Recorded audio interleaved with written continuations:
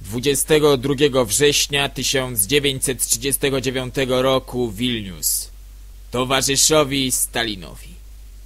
Noc była czarna jak sumienie faszysty, jak zamiary polskiego pana, jak polityka angielskiego ministra.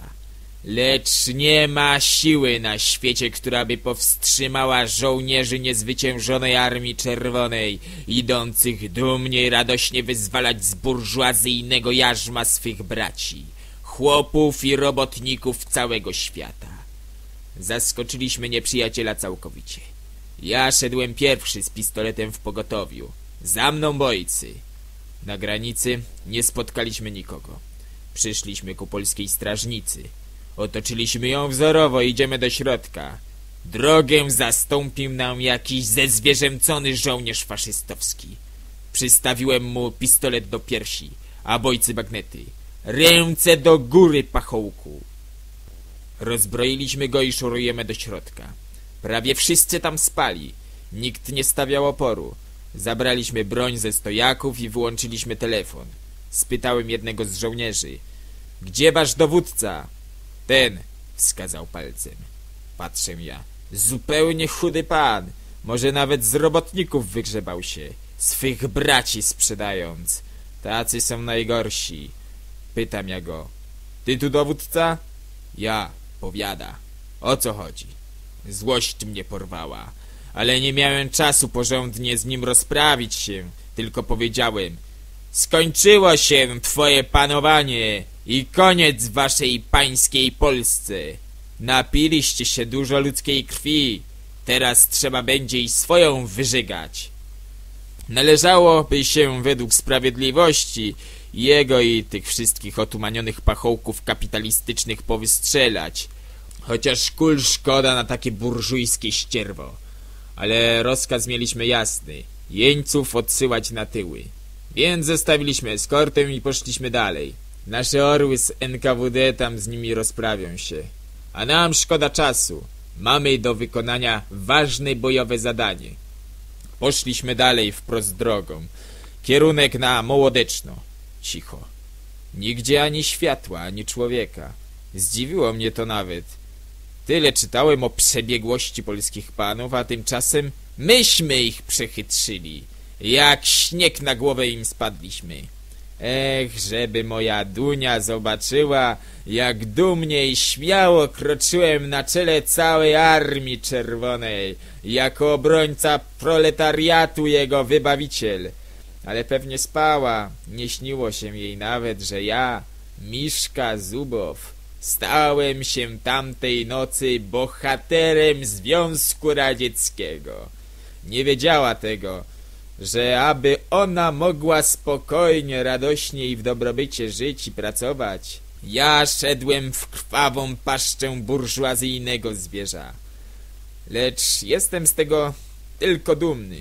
Rozumiem, że przyniosłem do Polski dla moich uciemiężonych przez panów braci i sióstr światło nieznanej im wolności i naszą wielką, jedyną na świecie prawdziwą sowiecką kulturę.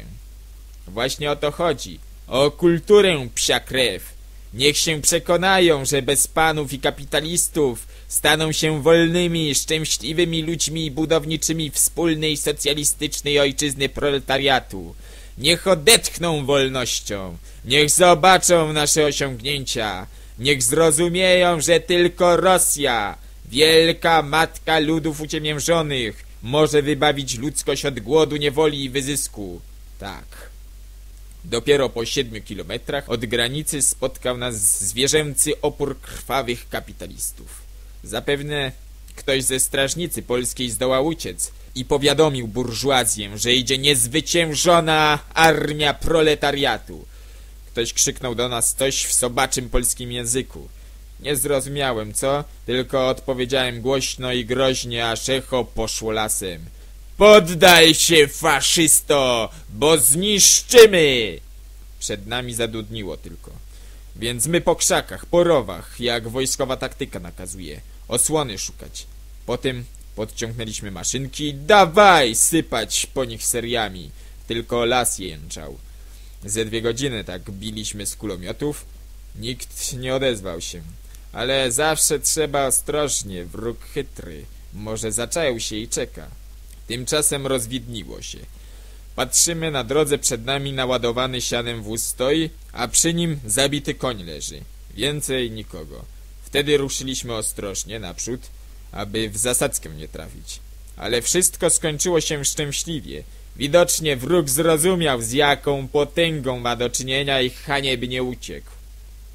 Takim to sposobem ja, młodszy lejtnant niezwyciężonej Armii Czerwonej, wkroczyłem na czele mego plutonu do burżuazyjnej Polski. A stało się to nocą 17 września 1939 roku. Hurra! Hurra! Hurra! Zapiski te zaczynam w mieście Wilnusie. Piszę je na chwałę naszej potężnej Armii Czerwonej i przede wszystkim jej wielkiego wodza, towarzysza Stalina. Jemu też, naturalnie, zadedykowałem je. Rozumiem dobrze, że pióro moje jest bezsilne, gdy chcę opisać wielkiego naszego wodza i moją miłość dla niego. Na to trzeba pióra Puszkina lub Majakowskiego. Ja mogę tylko dokładnie zanotować to, co widzę i słyszę w tych wielkich historycznych dniach, które wyzwoliły kilka uciśnionych narodów z kapitalistycznej niewoli. Gdy myślę o naszym wielkim wodzu i nauczycielu, to czuję, że do oczu mi napływają łzy. Kim by ja był bez niego? Carskim niewolnikiem, gnębionym i eksploatowanym nieludzko.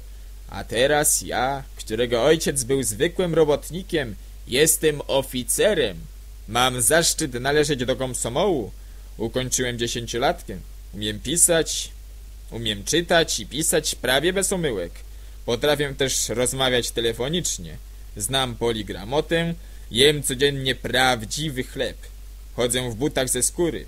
Jestem człowiekiem oświeconym i kulturalnym. Poza tym korzystam z największych wolności, jakie może mieć człowiek na ziemi.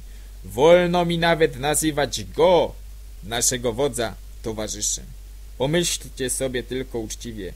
Ja mam prawo swobodnie i wszędzie nazywać go towarzyszem. Towarzysz Stalin. Towarzysz Stalin! Otóż to jest moją największą dumą i radością. Czy może obywatel państwa kapitalistycznego nazywać swego prezydenta lub króla towarzyszem? Nigdy! Chyba tylko inny krwiożerczy prezydent albo zezwierzęcony król.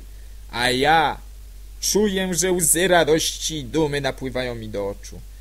Muszę przerwać pisanie i zapalić, bo nie wytrzymam nadmiaru szczęścia i serce mi pęknie.